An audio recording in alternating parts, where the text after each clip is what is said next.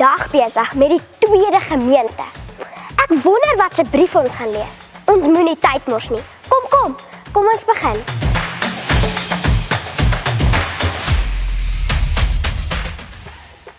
Ek het 'n fout gemaak en 3 keer gesê ek ken nie vir Jesus nie. Ek is een van die 12 disippels. Jesus het my toe ook later na sy opstanding 3 keer gevra of ek hom liefhet. Ek het natuurlik ja gesê. Ek is 'n leier van die vroeë kerk. Weet jy wie ek is?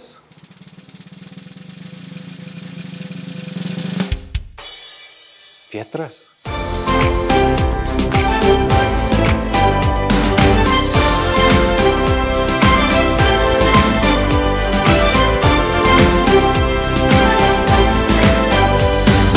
Wil julle hoor wat se raad en les lesse ons vandag kan leer uit die gemeente Korinte se brief? Die brief Korinteërs is aan die mense van die stad Korinte geskryf. Daar is twee briewe aan hulle geskryf. 1 en 2 Kor Korintiërs. En ons kan baie hieruit leer. In hoofstuk 13 van hierdie brief leer ons oor liefde. Ware Jesus tipe liefde. Daar is so ou ou liedjie. Dalk het jou ouers dit al in die kar gespeel. Luister gou saam met my so 'n stukkie. What the world needs now is love, sweet love.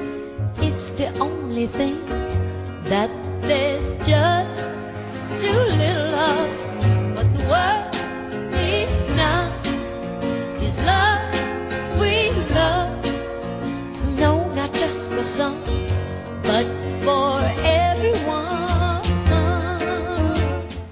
Dis mooi nê, veral vir 'n ou liedjie. En so so waar.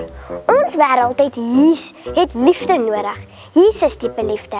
Deur ons woorde wat ons doen, wil jy hoor hoe lyk hierdie liefde? Nou luister saam na 'n stukkie uit die brief aan die Korintiërs. 1 Korintiërs 13 vers 4 tot 8. Iemand wat lief is vir God en vir ander mense, is geduldig en vriendelik. Hy is nie jaloers nie, hy spog nie. Hy is nie hoogmoedig nie. Hy doen nie lelike dinge nie. Hy is nie selfsugtig nie. Hy word nie gou kwaad nie. Hy onthou nie vir altyd dat mense slegte dinge aan hom gedoen het nie. Hy is nie bly wanneer mense verkeerde dinge doen aan ander mense nie. Hy is baie bly wanneer mense die waarheid praat. Hy word nooit moedeloos nie. Hy hou aan om te glo en te hoop. Hy bly geduldig. Hy hou nie op om lief te wees vir God en vir ander mense nie. Dit is 'n stukkie uit die brief wat aan die gemeente van Korinte geskryf is.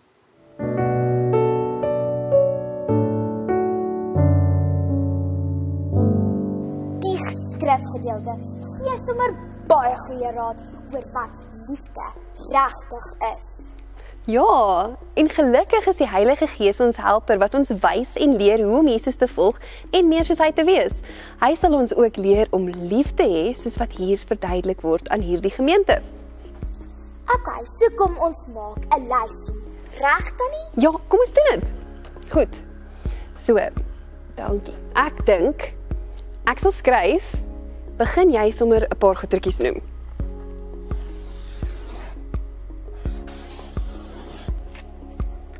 As jy hierdie liefde het en so leef, is jy geduldig. Mhm. Mm en vriendelik. Mm en jy sit ander mense eerste.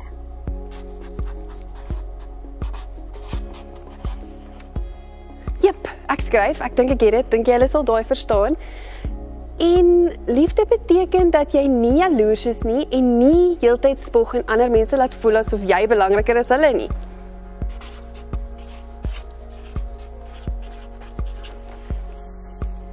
Jy doen ook dan nie aspres lelike dinge nie. Selfs almal in steeds foute. Reg, so. Uh en jy bly nie kwaad nie.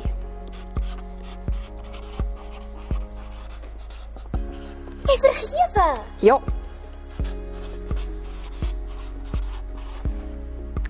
Ja, en jy hou aan glo en hoop.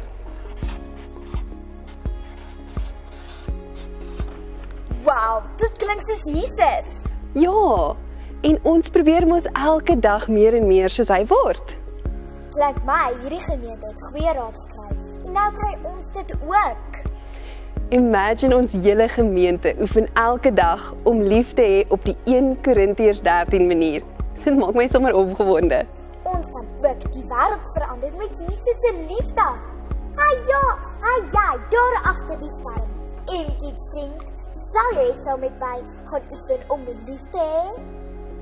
Ek seker hulle sal. Jy kan selfs met iemand in jou huisgesin daaroor praat en dan saam hierdie week oefen om lief te hê soos Jesus ons liefhet.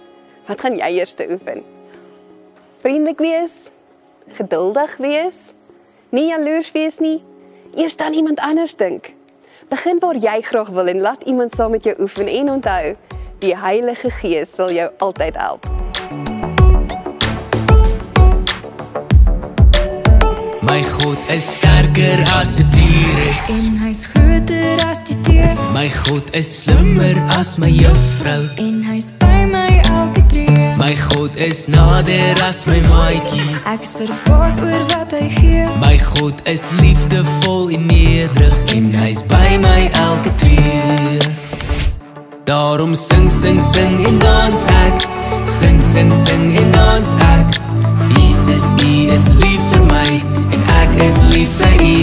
Daarom sing sing sing en dans ek. Sing sing sing en dans ek.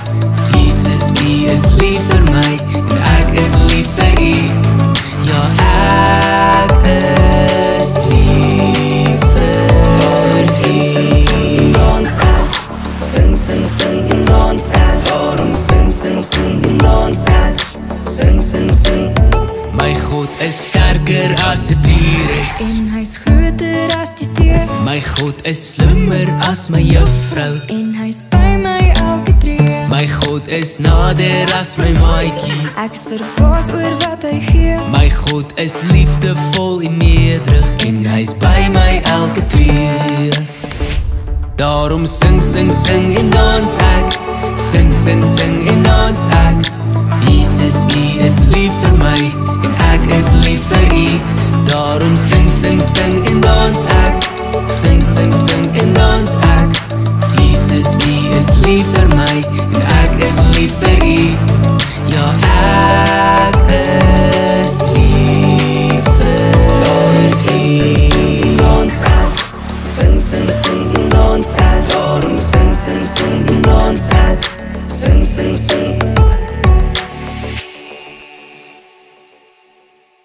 Kom ons bid saam. Jesus, dankie dat U vir ons leer wat liefde is. Leer ons ook om soos U lief te hê. Amen. Bye maatjies.